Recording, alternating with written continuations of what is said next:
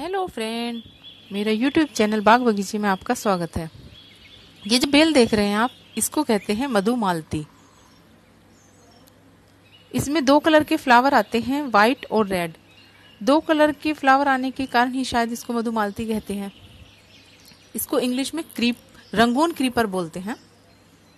इसका फूल बारह महीने आता है। इसका फूल बहुत ही खूबसूरत लगता है और गुच्छों में आता है। कई बार तो इतनी ज़बरदस्त इसमें फ्लावरिंग होती है कि इसमें पत्तियाँ भी नहीं दिखाई देती हैं।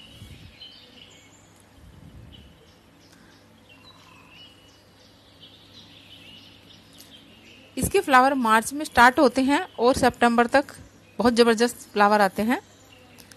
इसके प्लांट को आप ज़मीन में, गमले में दोनों में लगा सकते हैं। ज़मीन में इसकी बेल बहुत तेज़ी से बढ़ती है।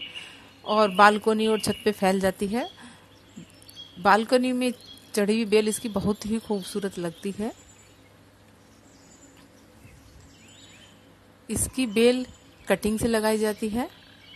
ये मेरा दो साल पुराना प्लांट है और देखिए कितनी ज़बरदस्त इसकी बेल फैली हुई है। खाद के रूप में इसमें आप गोबर खाद डाल सकते हैं। रात में इसमें इतनी ज़बरदस्त खुशबू आती है कि सारा वातावरण खुशबू से फैल जाता है।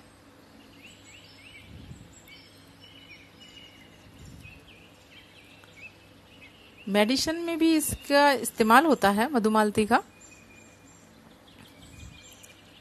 खुशबू भी इसमें बहुत ज़बरदस्त आती है और देखने में तो बहुत ही सुंदर लगते हैं इसके फ्लावर।